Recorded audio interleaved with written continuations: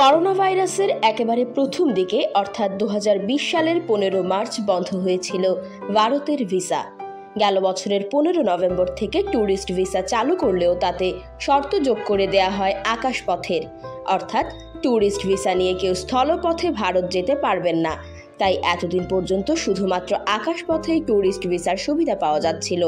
অবশেষে স্থলপথ ও রেলপথেও চালু হচ্ছে ভারতের ট্যুরিস্ট ভিসা ত্রিশ মার্চ বুধবার থেকে স্থলপথ, রেলপথ ও আকাশপথে ভারতের ট্যুরিস্ট ভিসার জন্য আবেদন ফের চালু হয়েছে। এখন থেকে যে কেউ স্থলপথে ভারত যাওয়ার জন্য ট্যুরিস্ট ভিসার আবেদন করতে পারবেন। ভারতে সবচেয়ে বেশি পর্যটক যান বাংলাদেশ থেকে। দু হাজার উনিশ সালে ভারতে যাওয়া বিদেশি পর্যটকদের শতকরা বিশ ভাগই ছিল বাংলাদেশি পর্যটক। ধারণা করা হয় সে বছর তেইশ লাখ পর্যটক বাংলাদেশ থেকে বেড়াতে গিয়েছিলেন ভারতে। কম খরচে ঘোরাঘুরির জন্য বাংলাদেশের অনেক পর্যটকই ভারতকে বেছে নেন। কম খরচে ঘোরা যায় বলে বেশিরভাগ পর্যটকই স্থলপথে ভারতে প্রবেশ করেন।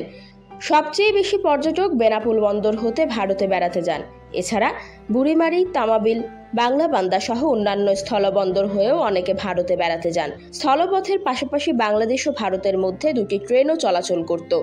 এগুলো হচ্ছে ঢাকা কলকাতা ঢাকা রুটে মৈত্রী এক্সপ্রেস ও খুলনা কলকাতা খুলনা রুটে বন্ধন এক্সপ্রেস। এর মধ্যে মিতালি এক্সপ্রেস নামে আরও একটি ট্রেন দু হাজার একুশ সালের ছাব্বিশ মার্চ উদ্বোধন হয়ে ঢাকা, নিউ জলপাইগুড়ি, ঢাকা রুটে চলাচলের জন্য এটিও ফের চালুর অপেক্ষায় আছে। স্থলপথের পাশাপাশি এই তিনটি ট্রেনও চলাচল শুরু করবে। ভারতের ট্যুরিস্ট ভিসা আবেদনের পদ্ধতি অপরিবর্তিত রয়েছে। তবে এখন ভিসার আবেদন করলে পরিবারের সবাইকেই ভিসা আবেদনের কেন্দ্রে উপস্থিত হয়ে বায়োমেট্রিক ডাটা দিতে হবে।